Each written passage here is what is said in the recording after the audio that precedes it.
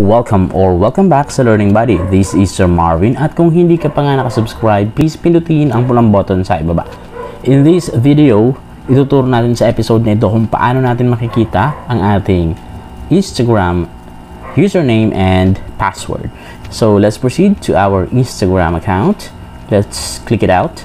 Click and all you need to do is just to proceed to or to click rather your profile picture dyan sa baba. Okay? Sa katabi ng heart dito sa ibaba. Pindutin yon. Alright, so wait lang natin. And then, pagdating dito, ang ating username ay yung nasa itaas, katabi ng kandado.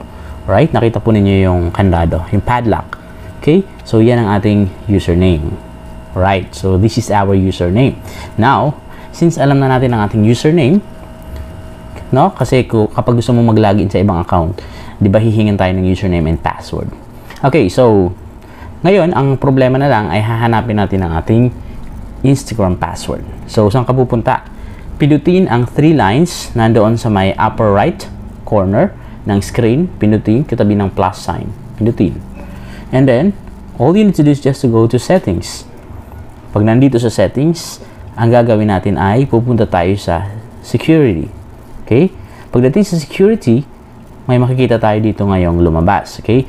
So, pipindutin mo lang dito ay yung saved login information. Okay? Yan. So, ito po ang paraan para makita natin or kapag mag-login tayo, hindi na tayo paulit-ulit na magla-login ng ating Instagram account. Alright? So, dapat po nakaklik yan. Okay? So, hindi po dapat yan nakaganyan.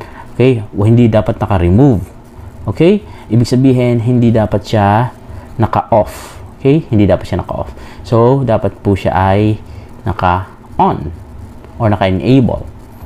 Okay? Sa ganyang paraan, ibig sabihin, pag nag-login tayo, halimbawa nag-login tayo, and then, tinype natin ang ating password, automatically, na-save na yung ating login information. Username and password. Right? So, kung gusto mo namang baguhin ang password mo, all you need to do is just go to password. Pinutin ang password. So, yung current password ay itatype mo lang dito.